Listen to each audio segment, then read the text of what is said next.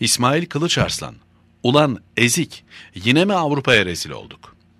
Türkiye'de önce alt kültüreliyle sokağa yerleşen, ardından da yerleşik olarak literatüre giren şahane bir kelime var. Ezik, yani komplekslerle, yetersizlik duygusuyla, özgüven eksikliğiyle, mukayyet, güçlüyü görünce korkan, dahası güçsüz olan da dahi bir güç vehmeden insan teki.'' Aile ve Sosyal Politikalar Bakanımız Fatma Betül Sayankaya Hollanda'ya kanunsuz, hukuksuz, mesnetsiz şekilde alınmayınca adına ezik dediğimiz insan teki saklandığı inden başını uzatıp o meşhur, o meşhum, o lanetli cümleyi patlattı yine. Avrupa'ya rezil olduk. Bu eziye göre kendi topraklarımız sayılan büyükelçiliğimize gitmek isteyen bir bakanı, üstelik diplomatik pasaportu olmasına rağmen ülkesine almayan Hollanda'da değildir kabahat.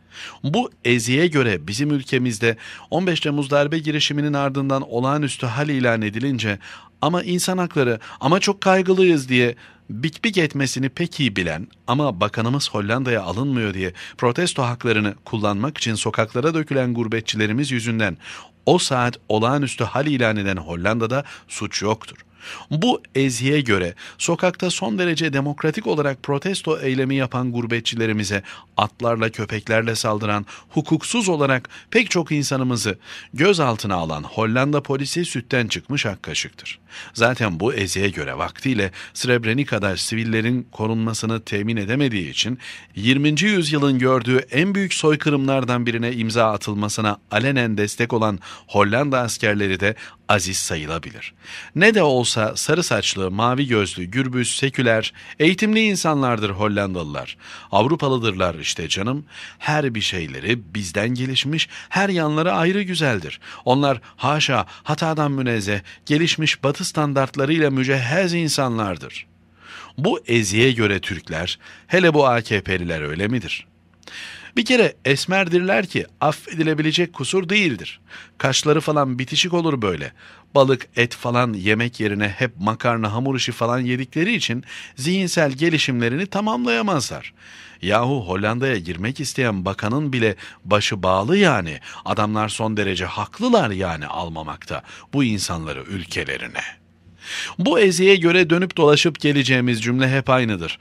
Avrupa'ya rezil olduk. Bu eziye ulan ezik, Avrupa dediğin yer, dünyada rezillik bitse onu o saniye yeniden icat edebilecek bir kara parçasıdır. Senin bugün gelişmiş Avrupa değerleri dediğin şeyin her yanı tel tel dökülmektedir. Derin faşist kodlarını, daha da derin aşağılık emperyalist kodlarını saklayamaz hale geldi Avrupa.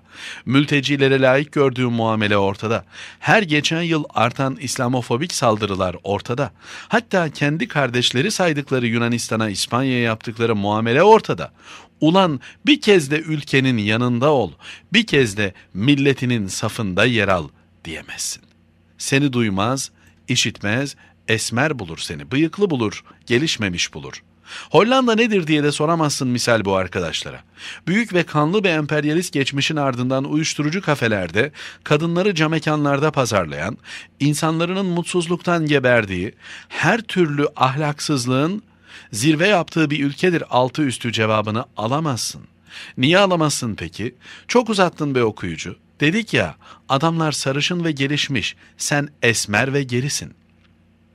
Üzerinde yaşadığımız coğrafyanın 150 yıllık tarihi bir bakıma her türlü iktidar gücünü elinde bulunduran bu eziklerle garibanlığın dibini bulmuş Türk milleti arasındaki mücadeleden ibarettir. Şimdi o garibanlığın dibini bulmuş millet bir şekilde iktidardadır. Bir şekilde yavaş yavaş da olsa hayal kurmaya, kurabilmeye başlamıştır ya, bu eziklerin asıl derdi budur. Yoksa onlar da bilmektedir. Bakanımızın Hollanda'ya alınmadığı gün adı Abdüllatif Şener olan ultra eziğin Hollanda'da hayır kampanyası yürüttüğünü. Yoksa onlar da bilmektedir PKK, FETÖ ve bilimum vatan haini oluşumların Hollanda dahil tüm Avrupa'da istedikleri propagandayı istedikleri şekilde yaptıklarını. Kötü haberi veren taraf olmak istemem ama yine de söylemesem olmayacak. Avrupa'ya rezil olduk korosuna dahil olan tüm ezikler bilmelidirler ki, gözü olana gün ışımıştır. 150 yıllık parantezi kapatma şansı milletin eline geçmiştir. Millet her zamanki gibi gereğini yapacaktır. Ne diyordu Murat Zelan? Hayırcı olabilirsin Ama mandacı bir yavşak olmak zorunda değilsin. İsmail Kılıçarslan, Yeni Şafak